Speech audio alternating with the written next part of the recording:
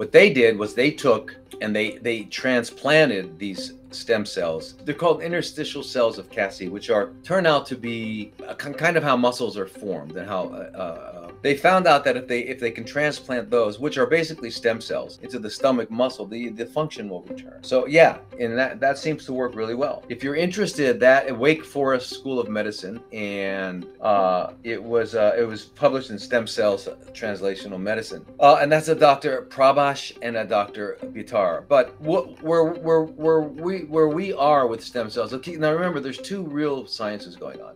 There's the science that we all that you know doctors and scientists read about, and then there's the science that they uh, know because they have they they they, they, they their technology, everything. They are way ahead of us in multiple things, and they have all these other things. But anyway, the science that we know you um, we know that a stem cell can become anything which is why if you have a chronically fermenting population of cells it's very uh, risky to just get stem cells especially embryonic stem cells um, and uh, which most people wouldn't do just out of uh, a morality issue. Except, you know, what they do, the um, you know, there's the the way around that is when they we talk about fertility clinics, which are kind of weird, but in fertility clinics, they maybe produce they stimulate uh, they, they overstimulate hormones uh, and and the woman produces all kinds of eggs and, and they mix it with sperm and they come up with like multiple different embryonic embryos and then and then they pick one and then implant it. And so the other ones they they just throw away. Very very weird, but that's what happens. Anyway, embryonic stem cells are not to be used because they can't become anything and they will become cancer. All chameleons. The stem will become where you put it. You put stem cells in the heart and it's in the environment of the heart, it becomes a heart.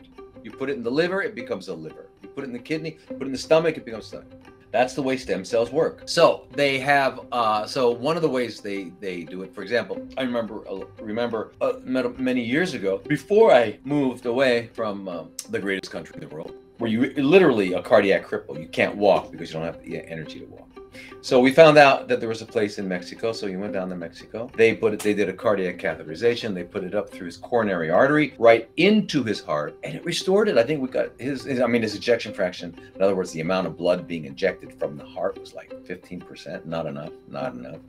Went back up to like, um, I don't know. 50, 60 was amazing.